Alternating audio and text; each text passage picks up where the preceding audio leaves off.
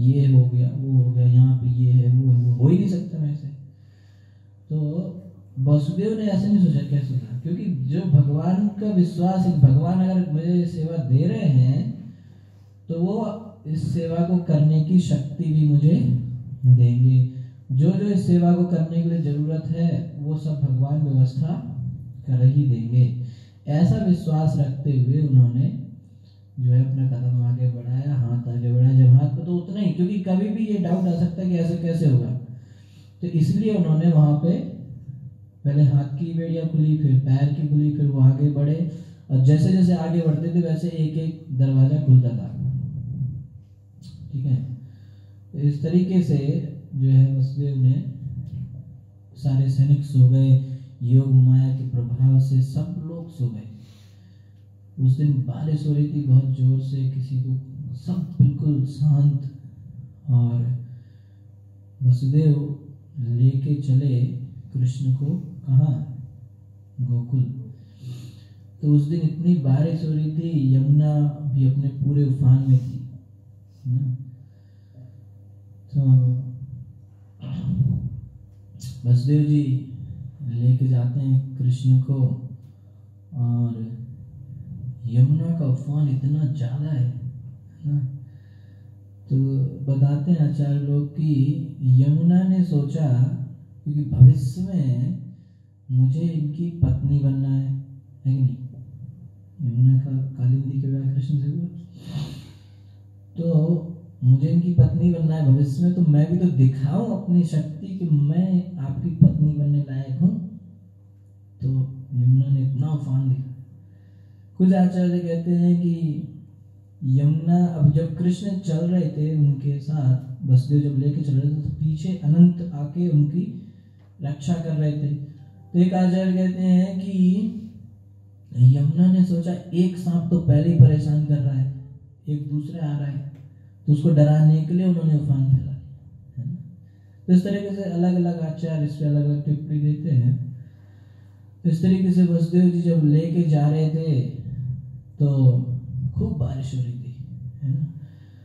तो बारिश तो मेघ सोच रहे हैं, कौन? मेघ। मेघ सोच रहे हैं कि आज ही मौका मिला है भी जन्माष्टमी अभिषेक होना चाहिए। अभिषेक तो हुआ नहीं। तो मेघ कह रहे हैं कि हमें ये सौभाग्य मिला है कि सर्वप्रथम अभिषेक हम करें। तो मेघ अभिषेक कर रहे हैं। है कि नहीं? और मेघ बहुत ज़्यादा अभिषेक कर रहे हैं, क्योंकि बहुत ज़्यादा प्रसन्न है। क्यों प्रसन्न है? क्यों? क्योंकि मेघों को इस बात की प्रसन्नता है कि आज के बाद हम जो है, भगवान के नाम में जुड़ेंगे। भगवान का नाम होगा हमारे नाम से।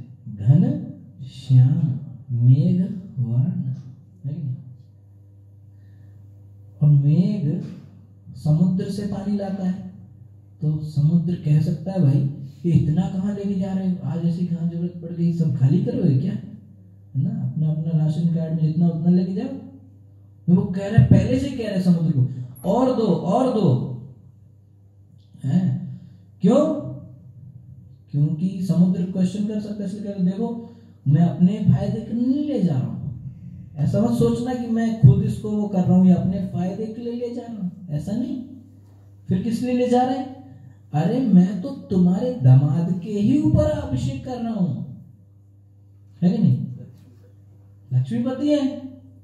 लक्ष्मी तो समुद्र से आई है। समुद्र की बेटी हुई। तो ये क्या हुए? समुद्र के दामाद कर देखो, मैं तुम्हारे ही रिश्तेदार के ऊपर खर्च कर रहा हूँ। तो दे दो, तुम मना मत करो, दे दो और दे दो। और उसको समुद्र को चिढ़ा भी रहे हैं। कैसे? अब समुद्र को ऐसे कह रहे कि तुम्हारा नाम तो बाद में आएगा। मेरा पहले आता है। कैसे? दया, सिंधु, करुणा, सागर, पर मेरा मेघ, वर्ण, घन, श्याम, चढ़ा भी रहे। है कि नहीं? तो इस तरीके से भगवान को लेके जा रहे हैं। मेघ बहुत ज़ोर की वर्षा कर रहे हैं। उस वर्षा से बचाने के लिए अनंत शेष भी हैं। अनंत से रक्षा कर रहे हैं। तो यमुना जी ने अंत में सोचा कि चलो रास्ता दे देते हैं। तो एकदम से रास्ता दिया ऐसे दोनों तरफ़ ऐसे पानी से स्वागत कर लेने के भाव से। है ना? तो भगवान वासुदेव के ऊपर हैं, जा रहे हैं। यमुना जी का इतना उफान बढ़ा कि जब भगवान अब वो चाहते थे कि चरण स्पर्श करें तो जब चरण स्पर्श हुआ, भगवान ने थोड़ा चरण निकाल के दिखाया तो वो शांत हो इसके बाद वहाँ पे बिल्कुल योग माया की वजह सब सो रहे थे। किसी को कोई पता नहीं। यशोदा माँ को भी कोई पता नहीं कि उनका एक बच्चा हो गया है। एक्चुअली में यशोदा माँ ने भी दो बच्चों को जन्म दिया था। एक लड़की और एक लड़का। जब अब वसुदेव को भी नहीं पता कि वहाँ पे दो हैं। वो अपना लेके गए और उन्होंने उसमें रख दिया और लड़की को उठा लिया। तो जो बच्चा यहाँ से लाए थे, कहाँ से? मथुरा से, वो बच्चा जो ऑलरेडी वहाँ एक बच्चा था, उसमें जाके मिल गया। है कि नहीं? तो यशोदा के भी कृष्ण हुए थे। सेम समय में और देवकी के भी कृष्ण हुए थे। जन्म क्रम चमे दिव्य। कृष्ण उनके भी हुए थे और इनके भी हुए थे, है ना? तो जो यशोदा के हुए, उनका नाम है गोविंद कृष्ण और जो देवकी के हुए, वासुदेव कृष्ण। तो जो वृंदावन वाले जो कृष्ण हैं, वो तो यशोदा के ही यहाँ जन्म लिए हैं।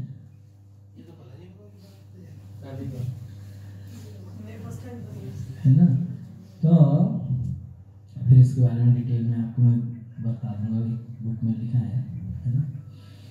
तो इस तरीके से ये कृष्ण उस कृष्ण में मिल गए। थोड़ा तत्व का फ़र्क है बस।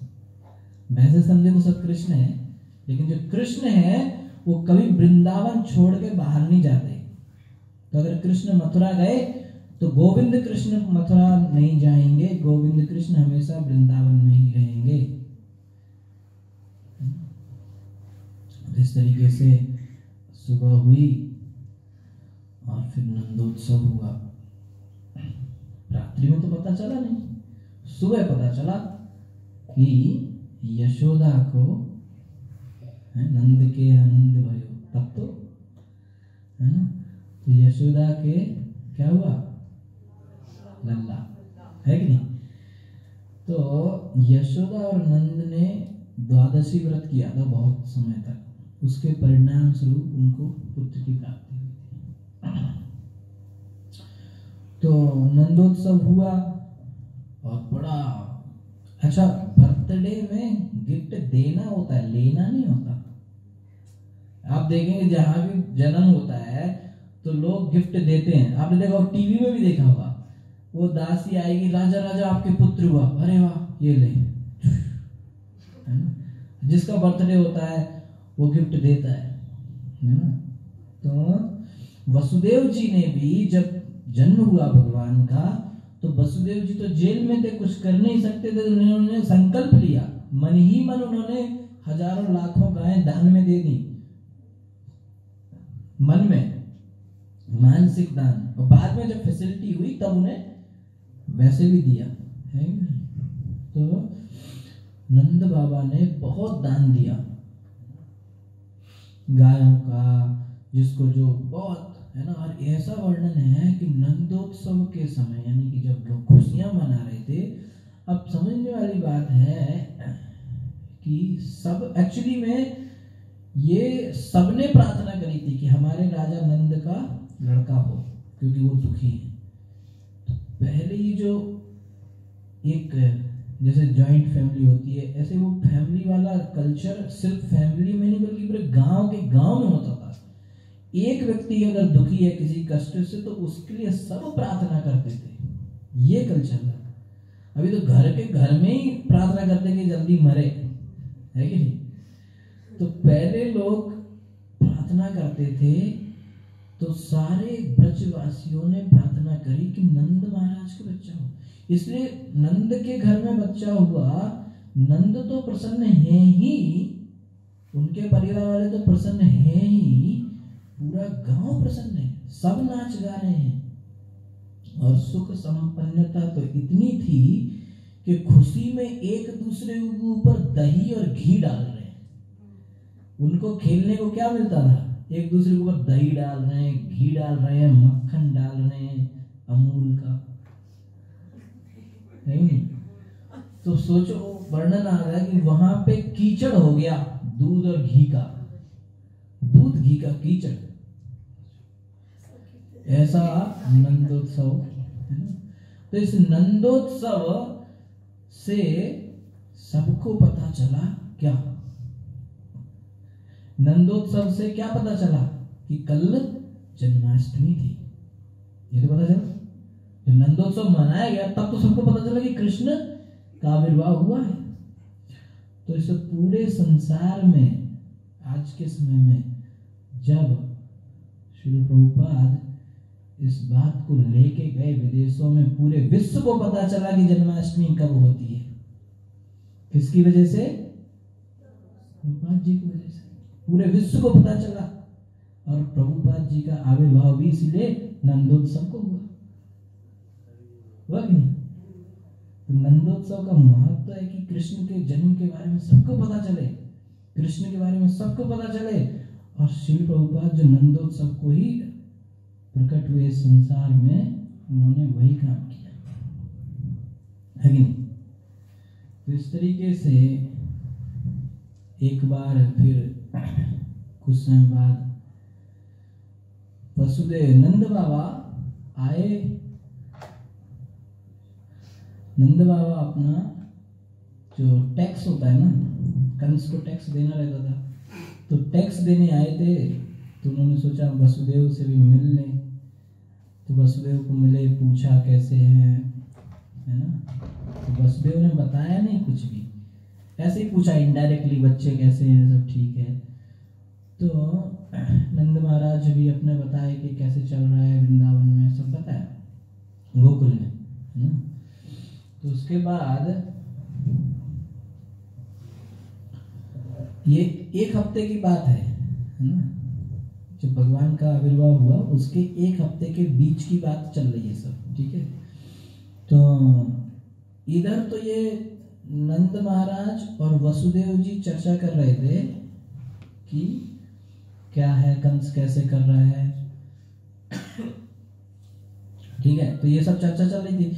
तो नंद, वसुदेव कहते हैं, वसुदेव को जानकारी थी, ज्योतिष वगैरह की तो वसुदेव नंद महाराज से कहते हैं कि आप जल्दी जाइए, हो सकता है कुछ गड़बड़ हो जाए गोकुल में। कंस कुछ कर सकता है। आप क्या करिए? ज़्यादा समय यहाँ पे मत रहिए, आप जाइए, देखिए वहाँ।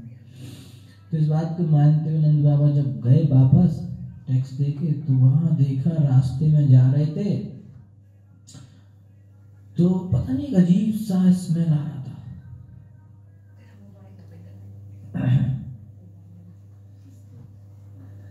अजीब सा एक स्मेल अच्छा सुगंधित स्मेल नंद बाबा को आ रहा था दूर से ही। नंद बाबा कहते हैं ऐसा कैसे स्मेल आ रहा है? तो और गए आगे तब पता चला कि जो वसुदेव ने कहा था, वो बात सही थी। कुछ ना कुछ गड़बड़ होने की बात जो चल रही थी, गड़बड़ हो चुकी थी। क्या? पूतना आई थी और पूतना जो है, माता का रूप रख के आई, बहुत सुंदर। तो सब सोचते थे कि स्वयं लक्ष्मी आई है। नंद के घर में इतना सुंदर बालक का जन्म हुआ है तो वैकुंठ से स्वयं लक्ष्मी उतर के आई हैं उस बालक का दर्शन करने। तो जैसे ही लोग अपने आप सोचते थे कि वो लक्ष्मी है पूतना ने इतना सुंदर रूप बनाया था, है ना? इतना सुंदर रूप बनाया था। और एक जगह, एक आचार्य तो ऐसा भी कहते हैं कि जब से पूतना को ये मिला, आदेश कि कृष्ण को मारना है तो वो उनके बारे में ही सोचती रहती थी। क्योंकि इतना कृष्ण का चिंतन किया कि उसका रूप वैसे ही सुंदर हो गया। तो जैसे ही वो कृष्ण के पास, जैसे ही वो ब्रज में, गोकुल में आई तो सब कहते थे, नंद बाबा, घर उधर है उधर है। तो बिना किसी दिक्कत के सीधे घर में पहुँच गई और सबने कहा हाँ हाँ आ जाओ आ जाओ। और वैसे भी जब कई बच्चा जन्म हुआ है तो वहाँ वैसे ही बहुत स्त्रियाँ आती हैं, सब बच्चे को थोड़ा प्रेम करती तो ये भी है, चलो, ठीक है। यहाँ तक कि माता यशोदा रोहिणी ने भी इतना ध्यान नहीं दिया और पूतना ने कृष्ण को बिल्कुल उठा लिया और कालकूट विष स्तन पे लगा के आई थी। तो भगवान ने आँखें बंद कर तो ये इस पे कई आचार्यों ने कई टिप्पणियाँ दी हैं, इस बात पे। एक आचार्य कहते हैं कि ये मारने आई है तो अगर इसको मैंने देख लिया तो मार नहीं पाऊँगा। कृपा की दृष्टि अगर इस पे पड़ गई तो मारूँगा कैसे? मारना तो है तो देखूँगा नहीं, ठीक है? और एक देख, इतने बुरे भाव से आई है तो ऐसे को क्या देखूँ मैं? तो भगवान ने आँखें बंद कर दी लेकिन पूतना ने उठाया और स्तनपान कराने लगी। तो भगवान ने दूध तो दूध पिया और उसके प्राण भी पी लिए।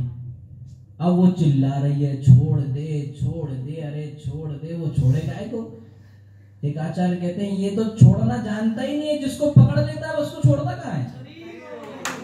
है नहीं? छोड़ना जानता ही, जिसको आता नहीं, कैसे छोड़ना है? तो वो काय को छोड़ेगा? अभी कभी छोड़ दे छोड़ दे। वो छोड़े ही ना। उसने छोड़ना सीखा ही नहीं। वो तो जिसको एक बार पकड़ता है, पकड़ ही लेता है। है कि नहीं? तो वो छोड़े ही ना। तो जब इसके मैं बिल्कुल अपना स्वरूप दिखा दिया, इतना बड़ा विशाल काय राक्षसी का शरीर, और भगवान तो उसका प्राण पूरा पी गए और फिर वो गिरा धड़ाम से मीलों लंबा पूतना का शरीर।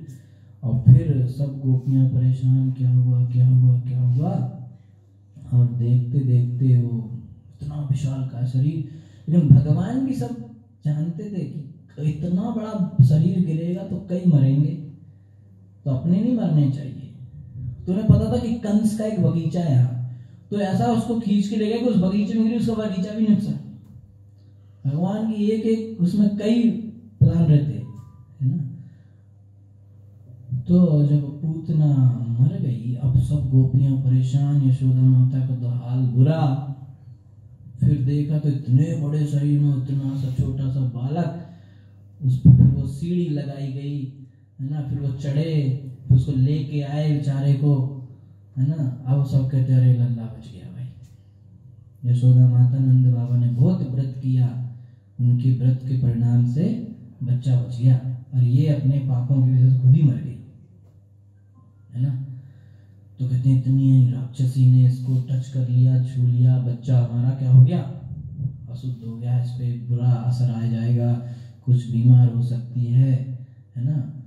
तो बच्चे की नज़र नज़र उतारते हैं ना आलतू जलालतू आई बोला। ठीक नहीं? करते कि नहीं? तो अब उनको वो शुभ करना था भगवान को, क्योंकि इतनी बड़ी राक्षसी ने उसके ऊपर अटैक किया बच्चे के ऊपर। तो बच्चे की भलाई के लिए, उसके ऊपर आई बला सबको खत्म करने के लिए उसको शुद्धिकरण हुआ। कैसे? बड़ा इंपॉर्टेंट है ये। कृष्ण का शुद्धिकरण कैसे हुआ? तो पहले तो गाय का जो मूत्र है, उससे स्नान कराया गया। ठीक है? अभी कल से बच्चे ऐसी करना है ना? जो बच्चे करें कहें कि कृष्ण ने शैतानी करी, हम भी करेंगे। तो उनको ऐसे बोलने का कृष्ण ने किससे स्नान किया था? फिर स्नान हो गया। अब स्नान का पाउडर लगाया जाता है कि नहीं? तो जो बछड़े जब दौड़ते हैं छोटे छोटे बछड़े गाय के तो उनके दौड़ने की वजह से धूल उड़ती है। तो धूल का पाउडर लगाएगा। ये तो कुछ बच्चों को अच्छा भी लगेगा तो इस तरह से फिर बाद में भगवान के, अब कृष्ण तो स्वयं कृष्ण है वहाँ, लेकिन गोपियाँ कृष्ण के शरीर पे हरि नाम से उनकी रक्षा करती हैं। केशवाय नमः, नारायणाय नमः ऐसे करके चारों तरफ़ से कृष्ण की रक्षा कैसे हो रही है? कृष्ण के नाम से। अब कृष्ण की स्वयं रक्षा कृष्ण के नाम से हो रही है तो हमारी क्यों नहीं होगी? हरे कृष्णा हरे कृष्णा कृष्णा कृष्णा, हरे हरे हरे राम हरे राम राम राम, हरे हरे। इसलिए कुछ भक्त तो रात को भी जब गर्मी में लोग शाम में नहाते हैं ना और कभी नहाना पड़ जाए शाम को तो तिलक लगा के ही सोते हैं। बोले, रात को आगे मान लो अमदूत तो। है कि नहीं? तो पूरे बारह जगह फिट लगे होने चाहिए। ना? तो नाम लेके एक्चुअली में होता क्या है कि हम भगवान के नाम लेके भगवान को इस शरीर पे स्थापित करती है। शरीर भी एक तरीके से मंदिर है। भगवान का वास इसमें भी है। तो बारह जगह भगवान को चारों तरफ़ से बिठा के अपनी प्रोटेक्शन करते हैं, है ना? तो रात को भी वो लोग लगा के सोते हैं, है ना? सोने से पहले नरसिंह भगवान का पूरा रात को पता नहीं ना? दिन में कोई आएगा तो हम भाग लेंगे। रात को कोई आए तो कैसे भागेंगे? तो पूरा प्रणाम प्रणाम करके सोना चाहिए जनरली उसमें बोलते हैं, भगवान माधव बच्चे की सोते समय रक्षा करें। ऐसे कवच है तो रात को सोते समय तीन बार माधव बोल के सोना चाहिए माधव माधव माधव जब मैं नया नया था तब मुझे एक चीज़ सिखाई गई थी तो मुझे अभी भी याद है बोले जब जगो तो सात बार बोलो हरी हरी हरी हरी हरी हरी हरी हरी हरी हरी हरी हरी हरी हरी सात बार और जब नहाए तो तीन बार बोले, श्री गंगे श्री गंगे श्री गंगे। और जब प्रसाद ले, श्री विष्णु श्री विष्णु श्री विष्णु। वैसे तो पूरा मंत्र है। और फिर जब सोए तो भगवान की, स्वयं भगवान की रक्षा किससे की जा रही है? भगवान के नामों से। भगवान के नाम में इतनी शक्ति है। तो इसके बाद जो पूतना जो मरी हुई थी तो उसका करें क्या? तो उसके छोटे छोटे पीस करके जलाए गए। तो उसके जलने से वो सुगंध आ रही थी जिसको नंद महाराज ने फील किया था कि ये सुगंध कहाँ से तो पूतना के जलने से सुगंध कैसे आएगी? सुगंध मैंने खुशबू। है ना? तो जो सुगंध आ रही थी, वो चूँकि भगवान का स्पर्श हुआ था, इसलिए वो सुगंध आई थी। कोई भी चीज़ भगवान के दिव्य शरीर से स्पर्श होने के पवित्र हो जाती है। और वैसे भी भगवान ने उसको माता की गति तो दी थी। तो ये एक हफ़्ते में ही ऐसा हो गया, है ना? इसके बाद जो है जब भगवान तीन महीने के हुए तो उठ के बैठने लगे। तो उत्थान संस्कार हुआ। तो वहाँ पे तो भगवान जो है, उनके उठने का उत्सव मनाया जा रहा था कि वो उठ के बैठ सकते अपने आप तो बहुत भीड़ थी। अब माँ यशोदा ही हेड है। तो उनको सब देखना है। जितने घर में आए हुए गेस्ट हैं, सबका ध्यान रखना इधर उधर। उधर बहुत बिज़ी थी। तो उन्होंने सोचा, अभी थोड़ी देर के लिए ना बालक को एक जगह सुला देते तो एक गाड़ी थी, बैलगाड़ी टाइप सकट जिसे बोलते हैं। तो वो गाड़ी पे बहुत सारा सामान रखा था। दूध, दही, घी सब रखा था, है ना? तो उसके नीचे सुला दिया। किसको? कृष्ण को। माधन का यहाँ आराम से सोएँगे आराम थोड़ा काम निपटा ले भी इतने शाम को फ़ंक्शन है इतना गेस्ट है इतना काम है मैं नहीं वो जो मेन होता है वो नहीं रहता तो उधर ही गड़बड़ होती है। तो पूरे जगह यशोदा माता बिज़ी थी। तो भगवान कहते हैं कि मैं सब कुछ छोड़ के आया कि तुम मेरे पास मुझे तुम्हारा प्रेम बोले तुम इन सब में लगे हो। ये तो गलत बात है।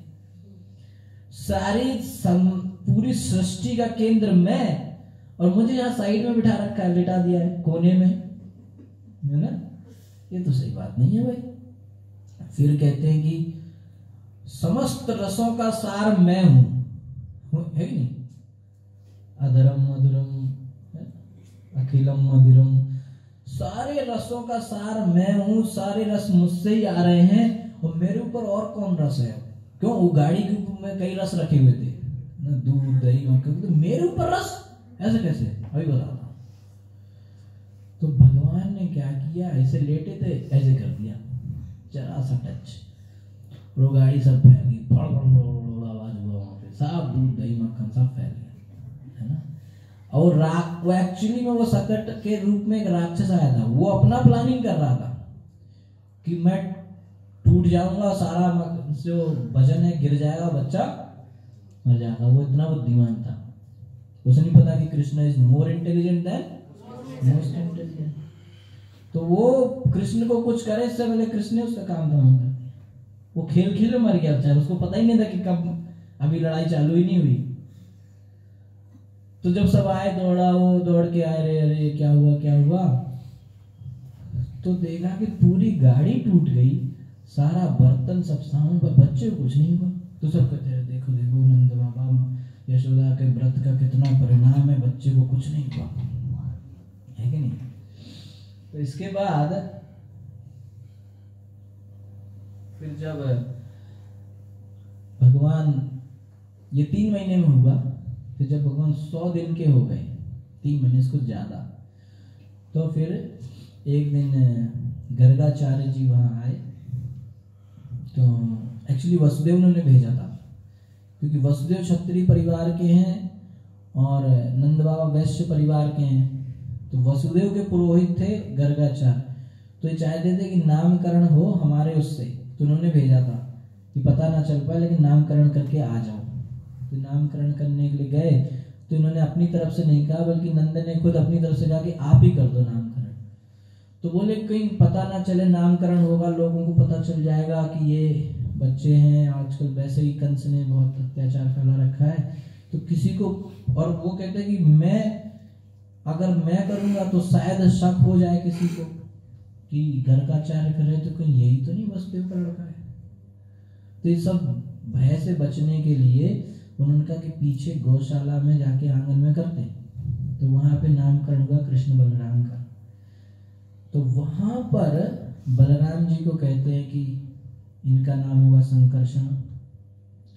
और इन्हें बहुत बलशाली है, इसलिए इनका नाम होगा बलराम। और ये सबको आनंद देने वाला, इसलिए इसका नाम होगा राम। तो राम, बलराम, संकर्षण। तो भागवतम में कई जगह जब बलराम जी की लीला आएगी तो कई जगह राम शब्द लिखा है। तो बलराम जी का नामकरण हुआ, और कृष्ण को कहते हैं, ये तो नारायण का स्वरूप जैसा ही है और ये हर युग में आता है। ये बोला है गर्गाचार्य ये हर युग में आता है अलग अलग रंग लेके आता है और कलयुग में, आगे आने वाले युग में ये गौर रंग लेके आएगा। ऐसे बोला है। तो कौन है? गौरांगा। भगवान श्री चैतन्य बोला है वहाँ पे कि अगले बार अभी काला हो के आया है, अगली बार गौर बन के आएगा। तो वही गौरांग है। जैसे कई जगह भागवतम में आएगा चैतन्य महाप्रभु के तो वहाँ पे उनका नामकरण हुआ। इसके बाद भगवान ने कई राक्षसों को मारा। एक राक्षस त्रिनाव्रत कंस भेजता रहता था धीरे धीरे तो त्रिनाव्रत को मारा और फिर भगवान जो है एक दिन अब जब भगवान एक साल के हो गए तब उन्होंने तृणाव्रत को मारा और जब एक साल तीन महीने के हुए तब एक बार इन्होंने मिट्टी खाई है ना? तो भगवान ने मिट्टी खाई तो सबने जाके किसको बताया? माता यशोदा को बताया। कि उसने मिट्टी खाई है। तो माता से तुमने मिट्टी खाई? मैंने नहीं खाई। बोले, सब बता रहे हैं। बोले, सब जलते हैं मेरे से। ये मेरे को पिटवाना चाहते हैं। तो बोले, सब नहीं, सब तो बता ही रहे हैं। ये बलराम भी बता रहा है। तो कहते रहे इसकी तो बिल्कुल मत सुनो। ये तो बिल्कुल मुझे चाहता कि मैं पिटवाऊँ तो कहता कि मैं तुम्हारा लड़का नहीं हूँ। कैसे? बोले, नंद बाबा गोरे, यशोदा मैया गोरी मैं गोरा तुम काला किधर से आया? नहीं नहीं? तुम हमारा नहीं, तुमको लेके आए हैं। तो माता यशोदा ने कहा कि भाई, तुमने मिट्टी नहीं खाई तो मुँह दिखाओ। जब माँ ने, जब माँ को मुँह दिखाया तो माँ को सब कुछ सृष्टि उसमें दिख गई। वही ब्रह्मांड, ग्रह सब घूम रहे हैं। पूरा पांचवा स्कंद दिख गया, लग रहा है। तो फिर उसी सृष्टि में वृंदावन गोकुल दिखा। उस गोकुल में वही ब्रह्मांड घाट, वहाँ पे वही यशोदा माता बैठी हुई है और कृष्ण के मुँह में देख रही हैं और फिर उसके अंदर वही, फिर उसके अंदर वही। ऐसे कई बार हुआ। है जो मार्कंडे की कथा में कैसे उनको भी सब वही ऐसे दिखा, है ना? तो भगवान ने मिट्टी खाई। इस पे भी बहुत टिप्पणी दी गई है आचार्यों के द्वारा। तो भगवान ने सोचा कि मैं आया हूँ धरती का वज़न कम करने पापियों से। तो चलो ऐसे ही करूँ। छोटा छोटा से शुरुआत होती है आचार्य कहते ऐसी शुरुआत करूँ। कम से कम थोड़ा खाना शुरू करूँ अभी से ना? तो इस तरीके से भगवान ने मिट्टी खाया। तो वहाँ पे जब इतना सब देखा तो यशोदा माई को लगा कि ये कहीं कोई नारायण तो नहीं तो माता यशोदा को बिल्कुल ऐसे लगने लगा कि ये कौन है? नारायणी है। तो बस वो आरती की प्लेट लेके आने वाली थी। ओम जय जगदीश, हरे करने वाली थी कि कृष्ण को लगा कि यार सारा गेम ही मेरा गड़बड़ हुआ जा रहा है तो मैं आया यहाँ वात्सल्य रस के लिए, माता का स्नेह पाने के लिए, और ये तो ओम जय जगदीश, हरे करने वाली है। तो तुरंत योग माया ने क्या किया? अच्छा जो भगवान जब लीला करते हैं तो सारी शक्तियाँ बिल्कुल खड़ी रहती हैं। है ना? आपने देखा होगा किसी मूवी में देखा होगा ऐसे। है ना? कहीं कुछ हुआ, तुरंत, है ना? तो भगवान जो लीला करते हैं, सब शक्तियाँ, योग शक्ति, क्रिया, सब जो जो भी शक्ति है, भगवान की सब खड़ी रहती है। कब क्या ज़रूरत पड़ जाए, तुरंत कर देती तो सब योग शक्ति ने, योग मान देगा कि तो गड़बड़ होगा तुरंत माता यशोदा को सब बुला दिया। माता यशोदा लगा, वही हमारा बच्चा ही है, कोई बात है ना? वो नहीं लाइफ है प्लेट इस तरीके से फिर ये कब हुआ? एक साल के थे तीन महीने, एक साल तीन महीने, है ना? तो जब भगवान दो साल के हुए तो दिवाली वाले दिन भगवान ने दामोदर लीला किया। दामोदर लीला तो हमने बहुत डिटेल में सुना ही था, कुछ ही दिन पहले। तो दामोदर लीला का मेन पॉइंट यही था कि भगवान ये दिखाना चाहते थे कि मुझे, मैं, मुझे कोई नहीं बाँध सकता। लेकिन भक्त अपनी भक्ति से मुझे मान सकता है। और उसके लिए भक्त को अथक प्रयास करना पड़ेगा, एक चीज़, और मेरी कृपा, दो चीज़ ज़रूरी है। भक्त का प्रयास, भगवान की कृपा। ये दो चीज़ अगर है तो हम भगवान को बाँध सकते हैं, है ना? इसके बाद जो है, दामोदर लीला हुआ। तो दामोदर लीला में भगवान ने नल कुबेर और मणिग्रीव दो पेड़ों का उद्धार किया। तो वो पेड़ जब गिरे बहुत तेज आवाज़ हुई। इतने विशाल का वृक्ष थे जब गिरे तो बहुत खतरनाक आवाज़ हुई। और उस दामोदर लीला आपको पता है ना कैसे हुआ? इसलिए मैंने उसको, है ना? तो जो ये पेड़ गिरे तो इनकी आवाज़ से सब लोग वहाँ आ गए। सब लोग आ क्या हुआ क्या हुआ क्या हुआ? बात वही हुई कि बच्चा बच गया और पेड़ गिर तो सबने पूछा, कैसे हुआ कैसे हुआ? तो माता सोचा ना कुछ लड़कों को लगा गई थी कि देखना गड़बड़ ना करे। तो वो कहते हैं, ए, बताओ क्या हुआ? कैसे गिरे पेड़? बोले, अरे, ये आया, ये उखल से बंधा हुआ था, इसने उसमें फंसाया, खींचा, दोनों गिर गए और इतना ही नहीं, उन दोनों से दो बड़े सुंदर व्यक्ति निकले और इसको पता नहीं कौन कौन सी प्रार्थनाएँ करी, हाथ हाथ जोड़े, प्रदक्षिणा करी और फिर निकल लिए। तो बड़े लोग कहते, यार, बच्चों से तो बात करने बेकार इतना सीरियस मैटर है, मज़ाक कर रहे हैं। है ना? इतना सीरियस मैटर है, बच्चा भी कुछ हो जाता है, ये लोग मज़ाक कर रहे हैं, ऐसा होता है कि चलो निकले यहाँ। तो बाद में इनको लगा, पता नहीं कोई होगा शक्ति कुछ ऐसा, पर देव कृपा से हमारा बच्चा बच गया।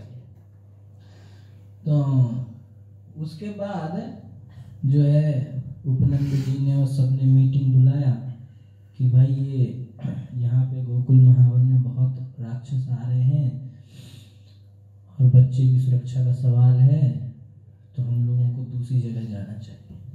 अब बच्चा किसका? नंद बाबा का। तो समस्या किसकी हुई? नंद बाबा की। लेकिन नहीं, ये पूरे गाँव कह रहा है कि हम सब एक साथ जाएँगे क्योंकि आपके घर में समस्या है। ऐसा नहीं कह रहे तुम जाओ यार, हम तो हमें तो नहीं कोई कर रहा ना कुछ। नहीं, सब लोग एक साथ रहते ऐसा पहले कल्चर था, है ना? तो इस तरीके से सबने प्लान किया कि जो है हम जाएँगे। इसी के बाद दामोदर लीला के बाद ग्यारहवें अध्याय में एक छोटी सी लीला आती है कि एक फल बेचने वाली आई थी तो वो बेचारी, आपने देखा होगा टीवी में तो वो फल बेच रही थी तो भगवान ने उस पर कृपा करने के लिए अपने छोटे छोटे से हाथों में वो अनाज लेके गए, उसको देने के लिए आधा तो रास्ते में ही गिरा दिया। और वहाँ तक जब तक पहुँचे तो दो चार दाने थे।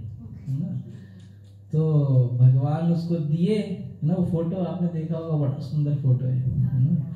तो भगवान ने उसको दिए तो कहती, इससे मेरा होगा क्या पर वो भगवान का स्नेहमयी मुख देख कर बिल्कुल मोहित हो गई और सारे फल बस दिए जा रही है, दिए जा रही है, दिए जा रही है। उनके हाथ में भी नहीं आ रहे, है ना, और बड़ा प्रसन्नता से वहाँ से गई।